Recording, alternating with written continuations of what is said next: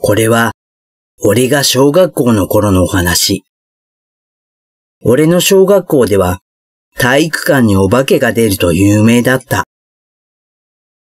怖いもの知らずの子供だった俺たちは、ある放課後、数人で体育館の見学室に隠れて残り、お化けを見ようとしていた。見学室は、用具室の2階で、体育館を見渡せる小窓がある屋根裏部屋のようなところだった。そこで俺たちは息を殺してお化けが出るのを待った。放課後は速やかに帰る決まりになっていたから、体育館には誰もいない。そのはずなのに。何度か小さな鈴の音がした。俺たちは顔を見合わせて、聞こえた？とみんなで確かめ合った。そのうち体育館に入ってくる革靴のようなカツカツという靴音が五六回響いた。入ってきたなら出ていく足音もするのが人間だ。でも靴音はそれっきり、まるでそこで消えてしまったかのように、それ以上することはなかった。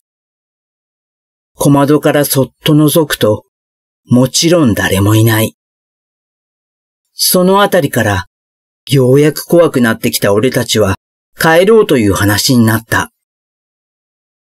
見学室の天井には四角い穴が開いていて、俺は一瞬、そこから異常に長い剥き出しの腕が見えたような気がした。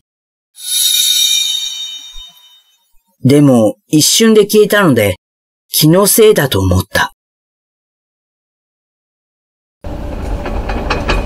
後日、俺たちは公園で遊んでいた。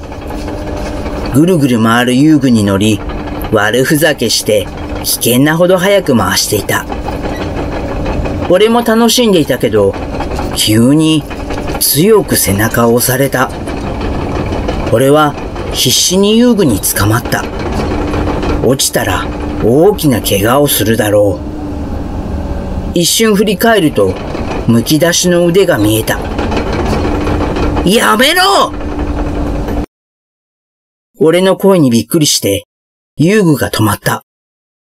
俺は、劣化のごとく怒った。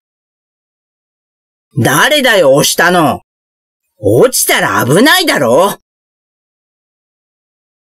でもみんな、顔を見合わせているばかり。俺は、誰かが嘘をついているのだと思ってまだ怒っていたけど、あることに気づいて、ぞっとした。友人たちは全員、長袖を着ていることに。